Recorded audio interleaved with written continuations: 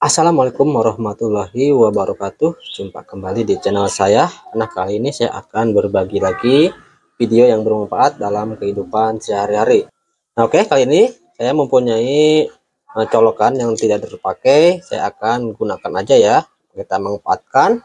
Nah selanjutnya siapkan dioda in 4007 ya. Nah selanjutnya kita pasangin dulu ini diodanya.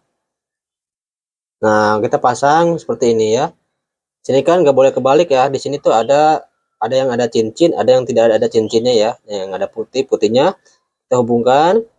Tuh ada yang putihnya seperti ini. Dan biar mudah kita kasih timah terlebih dahulu ya. Nah seperti ini. Jadi yang gelang ketemu yang ada gelangnya. Terus yang dua lagi kebalikannya. Yang tidak ada gelang bertemu yang tidak ada gelang. Oke? okay? Nanti layoutnya lebih jelasnya saya akan buatkan. Selanjutnya tinggal kita pasangkan seperti ini. Nah pasangkan seperti ini. Oke bebas. Mau ke sini juga gak apa-apa.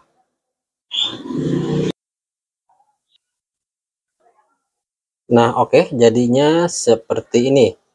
Jadi ini hitam ketemu hitam. Ini cincin ketemu cincin ya. Jadi ini sebelah sini yang enggak ada cincin ketemu yang enggak ada cincin terus yang sebelahnya yang ada cincin ketemu yang cincin. Jadi ini adalah kutub positif ini adalah kutub negatif ini AC ini AC ya. Jadi input AC input AC yang ini yang input AC kita kasih resistor 10k ya. Nah kita kasih resistor ya yang di bagian AC nya sama ini juga yang bagian AC nya kita kasih resistor 10k 10k itu warnanya coklat hitam orange emas ya.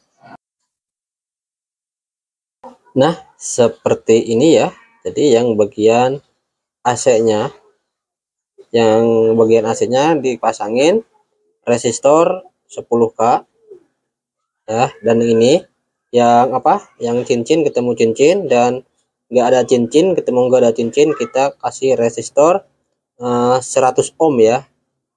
Nah kita kasih resistor 10 ohm warna itu warnanya coklat hitam coklat ya emas ini bagian negatifnya dan ini. Nah seperti ini.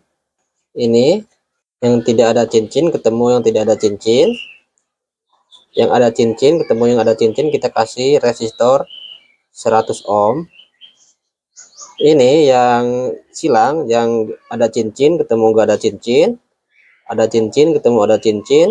Kita kasih resistor eh, 10k ya. Nah selanjutnya untuk yang ini kita tekuk ke atas. Nah oke okay, jika udah seperti ini kita masukkan ke sini ya ke colokan Nah, seperti ini ya. Kita kencengkan bautnya. Nah, oke, okay. seperti ini, guys.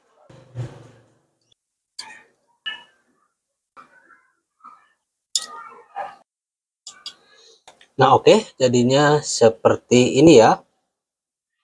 Jadi untuk yang ini adalah sebagai positif, untuk yang ini sebagai negatif.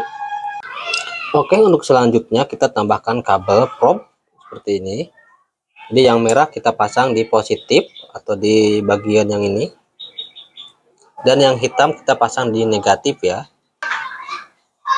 Yang hitam kita pasang di negatif. Oke, seperti ini.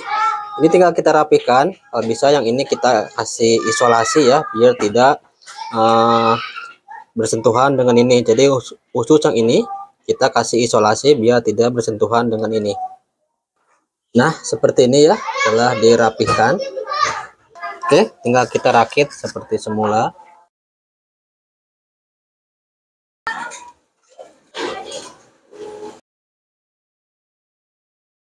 Oke, ini sudah jadi ya alat sederhananya. Oke, akan kita coba praktekkan, guys. Nah, oke, kita coba praktekkannya. Tinggal kita colokkan aja seperti ini.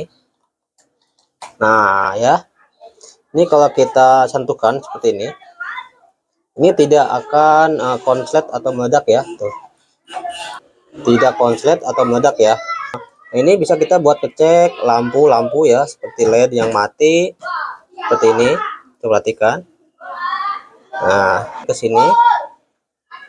Nah ini enggak nyala kita balik aja posisinya nah di sini lampu menyala ya. Padahal ini tuh lampu 3 volt. Itu bisa menyala. Nah coba lagi.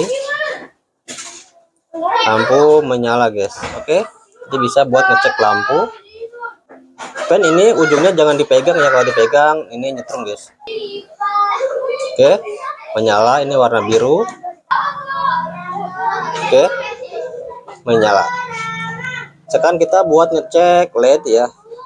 Mana yang mati dan mana yang hidup bisa guys.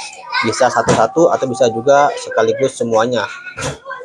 Kita tinggal colokan aja di bagian input AC nya nah otomatis lampu menyala ya. Jos guys ini sangat terang. Oke dia bisa ngecek satuan. Ini 3 volt. Bisa juga langsung mengecek ini 220 volt ya. Nih kita sentuhkan ke sini ini bisa langsung menyala guys Oh ya. Bisa ngecek satuan atau juga langsung semuanya.